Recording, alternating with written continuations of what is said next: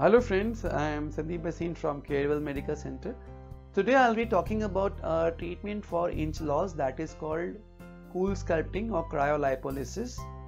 Now what is this treatment? If you're looking for inch loss or reducing the fat from a particular area of the body then the cool sculpting or uh, cryolipolysis is a treatment.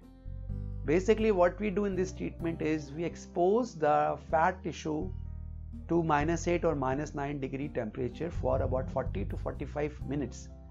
In this temperature, at this low temperature, the fat cells do not survive, they undergo a slow death. And when they when these then these fat cells are removed from the body by the lymphatics. So as a result, in about 3 months time, there is a inch loss. This treatment is totally non-invasive. Though the results can vary, but you can expect up to 1 inch to up to 2 or 3 inches inch loss with this. It is better if you combine this treatment with the diet and workout plans. In diet, we always advise to reduce carbohydrates, increase protein, and take a healthy diet with lot of fruits and, um, and other healthy stuff.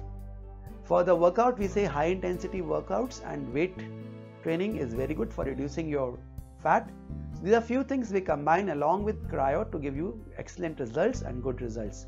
So friends, if you are looking for inch loss, fat loss, look that cool sculpting is a non-surgical, non-invasive treatment with very little, little side effects. Thanking you from Carewell Medical Center, Sandeep Bhasin.